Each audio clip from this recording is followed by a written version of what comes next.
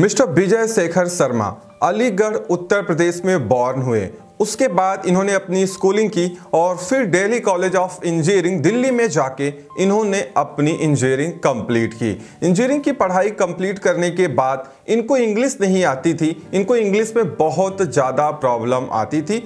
खुद मिस्टर विजय ने कई बार मीडिया को ये बात बताई। कई बार ये इंग्लिश मैगजीन पढ़ते थे या इंग्लिश सीखने जाते थे और ये इंग्लिश को अच्छी तरीके से सीखना चाहते थे। अब हुआ क्या? कि शुरुआत से ही मिस्टर विजय ये चाहते थे कि वो कोई कंपनी बनाएँ और बिज़नेस करें। साल 2010 में जब इन्होंने पेटीएम की स्थापना की तो पेटीएम इतनी तेज़ी से ग्रो कर रहा था जितना किसी ने सोचा भी नहीं था। शुरुआत में 2010 में जब पेटीएम को लॉन्च किया तो उस समय पेटीएम से आप रिचार्ज किया करते थे। धीरे धीरे पेटीएम बहुत सारे अलग अलग बिज़नेस करने लगा। पेटीएम वॉलेट बन गया, साथ में पेटीएम मॉल आया। उसके बाद पेटीएम पेमेंट्स बैंक आ गई। उसके बाद बहुत सारी सर्विसेज़ पेटीएम देने लगा। आज की डेट में अगर आप पेटीएम ऐप पे जाएँगे तो आपको सारी चीज़ें पेटीएम में देखने को मिल जाएँगी। लेकिन सबसे बड़ी बात यह निकल के आती है कि ये कंपनी कभी भी फ़ायदे में नहीं रही है। जी हाँ बिल्कुल आपने सही सुना। आज तक ये कंपनी कभी भी प्रॉफिट में नहीं रही है। इस वीडियो में आप ये भी जान पाएँगे कि पेटीएम में ऐसा क्या हुआ कि एक कंपनी जो इतनी तेज़ी से ग्रो करती है, महा आईपीओ ले आती है, भारत देश का सबसे बड़ा आईपीओ लेके आती है, अठारह हज़ार तीन सौ करोड़ रुपए का। गली मोहल्लों में हर जगह आपको पेटीएम देखने को मिल जाएगा। तो आज की डेट में पेटीएम धराशाई क्यों हो रहा है? और पेटीएम बंद होने की कगार पे क्यों पहुँच गया है?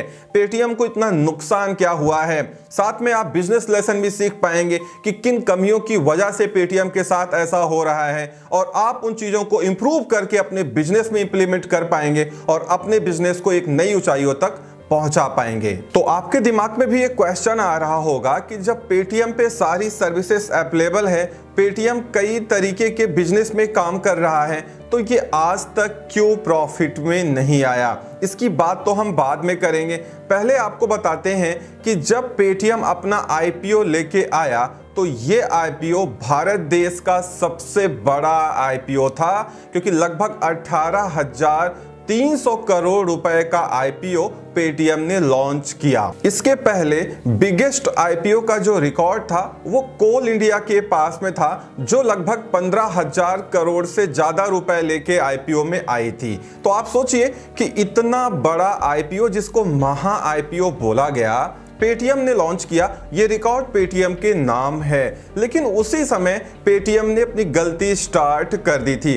पर शुरुआत में पेटीएम ने अटेंशन तो खींचना चाहा इन्वेस्टर्स का, लेकिन ये शुरुआती दौर में भी अटेंशन खींचने में कामयाब नहीं हुई थी। और पेटीएम को मार्केट से जितनी ज़्यादा उम्मीदें थी, उतना सब्सक्रिप्शन इनको आईपीओ में आने के बाद देखने को बिल्कुल नहीं मिला। शुरुआत में जो शेयर्स लगभग उन्नीस सौ रुपए या दो हज़ार रुपए के होते थे आज उनकी वैल्यू 70 परसेंट से भी ज़्यादा गिर गई है और इनकी शेयर वैल्यू लगभग 600 से 700 के बीच के आसपास रह गई है। जितने लोगों ने पेटीएम में पैसा लगाया, सबका पैसा डूब चुका है। मतलब कुल मिला के ये कंपनी ग्रोथ देने के बजाय उनके शेयर्स की वैल्यू लगातार गिराती जा रही है और आज उनकी वैल्यू 70 परसेंट से भी ज़्यादा गिर चुकी है। अब यहाँ पे क्या है कि पेटीएम इंडिया में बहुत बुरी तरीके से स्ट्रगल करती नज़र आ रही है।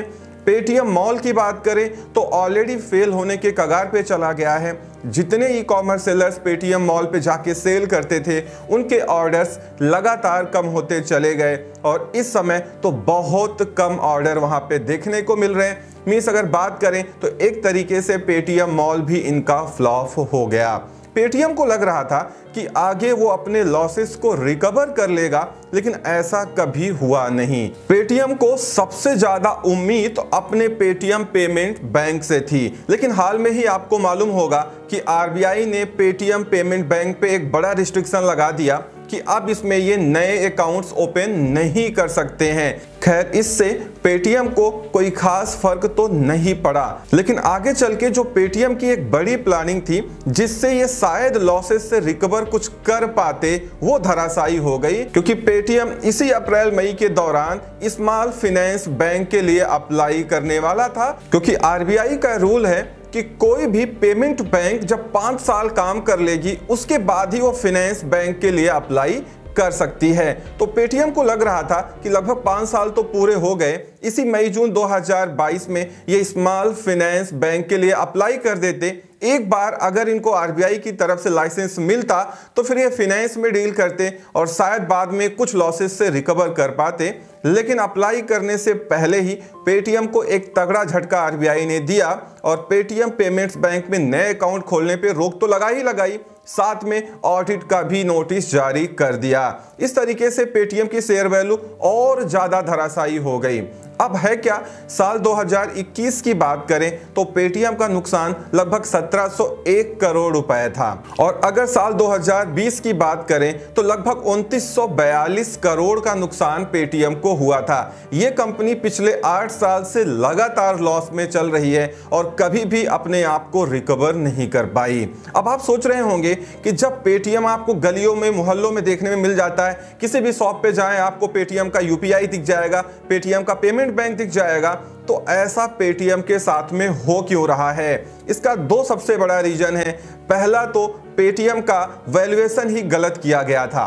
पेटीएम एक महा आईपीओ बन के इंडिया में आया तो था, लेकिन इसका जो वैल्यूएशन था, वो गलत था। गलत एस्टिमेशन लिया गया था, जिसकी वजह से कभी भी पेटीएम के शेयर होल्डर फ़ायदे में नहीं गए और उनका पैसा डूबता ही चला गया। दूसरा सबसे बड़ा रीजन जो है वो ये है कि पेटीएम ने शुरुआत में तो कैश बर्न किया, अपने यूज़र्स को ऑफ़र दिया और शुरुआती दौर में अटेंशन ले लिया कस्टमर्स का और बहुत तेज़ी से ग्रो करने लगी। लेकिन धीरे धीरे जैसे जैसे पेटीएम के लॉसेस बढ़ रहे थे, मिस्टर विजय शेखर ने क्या किया?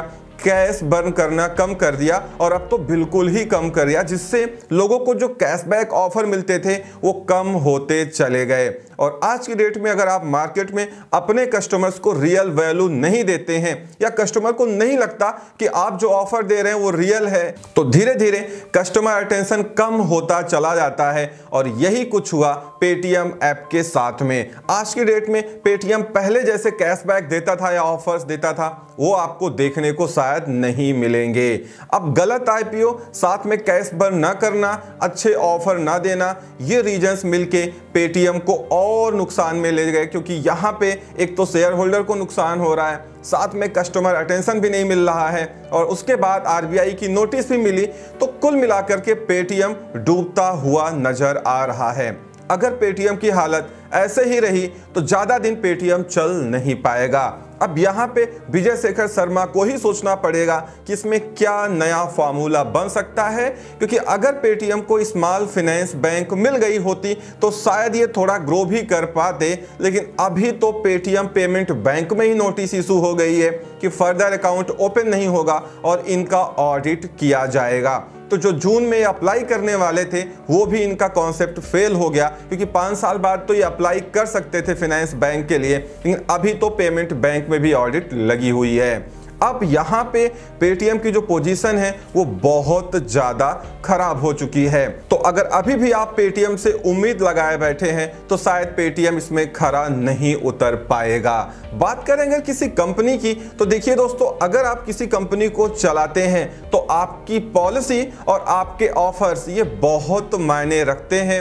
अगर कस्टमर्स को आप रियल वैल्यू रियल ऑफ़र नहीं प्रोवाइड कर रहे हैं तो आज की डेट में बहुत ज़्यादा दिन तक आप मार्केट में रुक नहीं पाएँगे और यही हाल हुआ पेटीएम के साथ में, जिसकी वजह से पेटीएम आज डूबने के कगार पे आ चुका है। तो आई होप आपको समझ में आ गया होगा कि पेटीएम के साथ ऐसा क्या हो रहा है, जो पेटीएम की हालत इतनी खराब हो चुकी है। तो इस वीडियो में इतना ही। उम्मीद करता हूँ वीडियो पसंद आई होगी। Thank you so much for watching